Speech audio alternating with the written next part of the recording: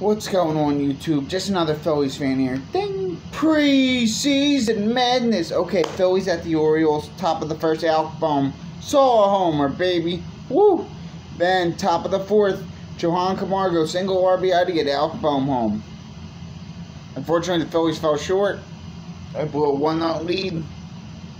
Poor offense and poor defense, I would say. Especially poor defense. As the Orioles got two runs in the bottom of the first and one in the bottom of the third. Orioles win three to two. I give the Orioles credit. They came back on us. They prevented us from coming back as well. The Phillies play the Blue Jays tomorrow. I will see you then. Ding.